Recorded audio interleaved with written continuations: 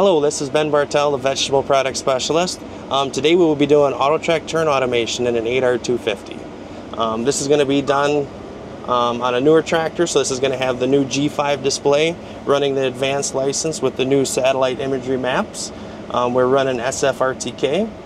Um, so we already kind of have the basis set up for auto turn. We got the green light, so we're going to go ahead. Bear with me, this is a power shift, so this is a little jumpy. We're engaged on our turn.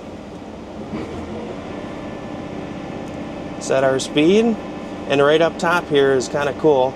For those guys for tillage or planting, you can select how many passes. So right now we're set up for a skip pass just because of how small area we got.